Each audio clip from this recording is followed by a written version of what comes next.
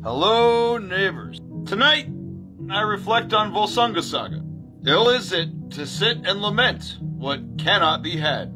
Many of us are guilty of this, aren't we? Often, when we hyperfixate on things we cannot have, we often lose sight on what opportunities we do have. And when those opportunities slip through our fingers, we lament even more.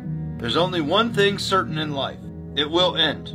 You're wasting your time, a limited resource that you have.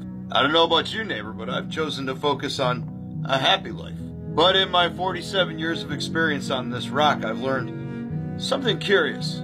Nothing ever goes according to plan.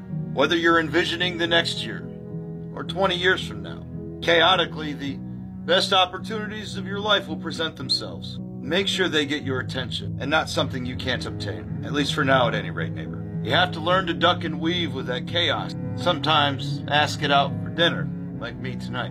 A love I never planned, a love I never know that I needed. And now I look to the future with another. We won't lament over the things we can't have. We'll just be happy together, making the most of it until it's over.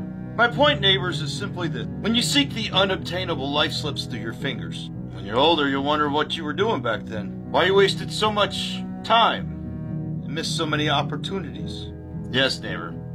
Ill is it to sit and lament what cannot be had. Beware the coulda, woulda, shouldas, because in the end, you didn't. If it is within reach or obtainable, go for it.